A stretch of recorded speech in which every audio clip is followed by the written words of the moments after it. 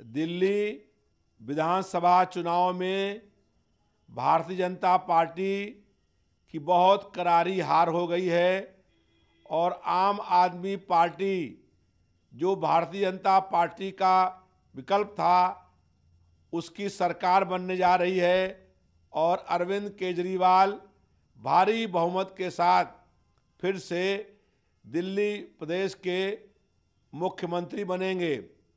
Bharatiya Janata party चुनाव से पहले जो लगातार झूठ बोलती है, जनता को गुमराह करती है, उससे जनता जान चुकी है।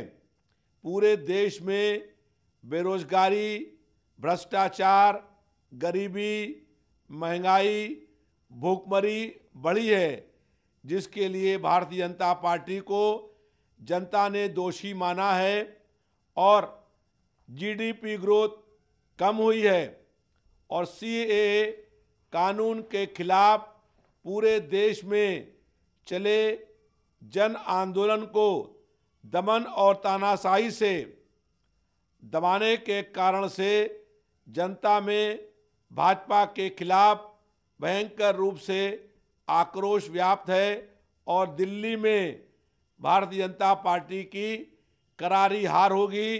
ये CAA और एनआरसी के खिलाफ जनता का स्पष्ट जनादेश होगा। भारतीय जनता पार्टी की केंद्र की सरकार लगातार झूठ बोलती है। इसकी कथनी और करनी में ज़मीन आसमान का अंतर है।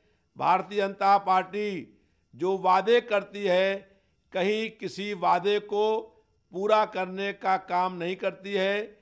कहा कि किसानों की दुगनी आय होगी, लेकिन किसान को उसकी उपज का सही मूल्य भी नहीं मिल रहा है और किसान आत्महत्याएँ करने के लिए मजबूर हो रहा है। भारतीय जनता पार्टी की केंद्र सरकार ने जो बजट पेश किया है, ये बजट आम आदमी, गरीब और मध्यम वर्ग का विरोधी बजट है, इस विरोध, इस बजट में किसी भी वर्ग को कोई भी लाभ नहीं हुआ है। इससे किसी भी वर्ग को कोई आशा नहीं है। ये अर्थव्यवस्था को सुधार पाने में भी पूर्ण रूप से नाकाम रहेगा।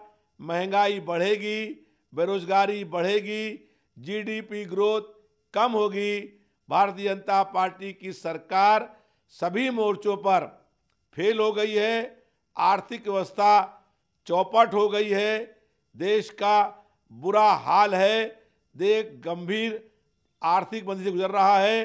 भारतीय जनता पार्टी की सरकार केवल देश में सांप्रदायिक सौहार्द खराब करने के अलावा कोई भी काम नहीं कर पाई है।